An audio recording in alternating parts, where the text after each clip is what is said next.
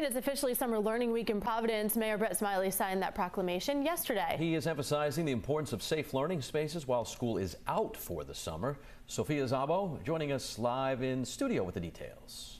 Good morning, Kate and Patrick. This national celebration highlights the power of engaging students during the summer. And this year, the focus is on closing opportunity gaps and get, setting these students up for a successful future. On Tuesday, Providence Mayor Brett Smiley and other city leaders toured the Student Fire Academy at Central High School. The CTE program spans 150 hours and offers hands-on training for a career as a first responder. Smiley signed the official Summer Learning Week proclamation alongside the students, saying the program represents the valuable opportunities being offered in the city this summer.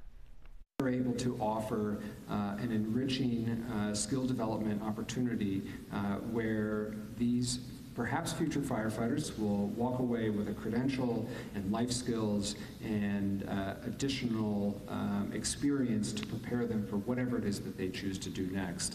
The skills here, the professionalism here, the uh, stories you'll be able to tell your friends and family here will be with you forever, regardless of the career path that you choose.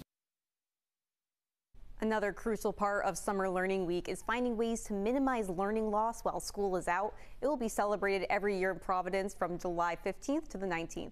In studio, Sophia Zabo, 12 News.